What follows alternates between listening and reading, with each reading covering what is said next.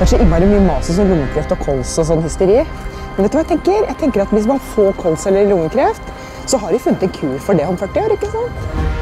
I framtida så kommer en pille så svær som tar for seg alt som er av sunn mat. Du tenker på feit mat, vet du. Fanken var digg, ass. FNs klimapanel har nå konkludert med at miljøforandringene er menneskeskapt.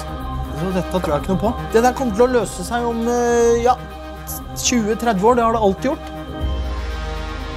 Altså, vet du hva, Det du sitter og sier nå, det, det stiller jeg meg veldig tvilende til. Stiller du deg tvilende til at roboter kommer til å gjøre all treninga for oss i framtida? Det er spekulativt, OK? Jeg syns du burde ta og gå. Åssen kan du være helt sikker på at ebola er kurert i fremtiden? Hvordan kan du vite at ebola ikke kommer til å være kurert i fremtiden? Så folk kan ikke stole så blindt på den jævla fremtida!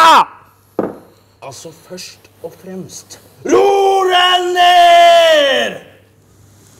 Hvis du er så interessert i denne framtida, kanskje du skulle tatt deg en tur? Ja, dette er ikke bare en bowlerhatt med blålys, nei. Det er ei framtidsmaskin. Er du klar?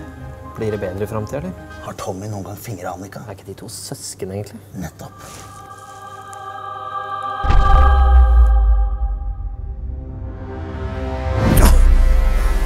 Å, fytti rakkeren.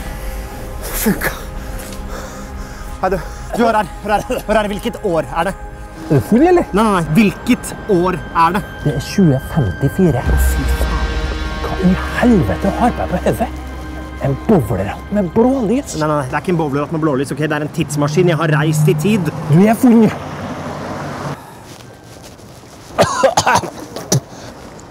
Altså, vi er i 2054, og de har ikke funnet opp en kur mot kols ennå. Det er for dårlig.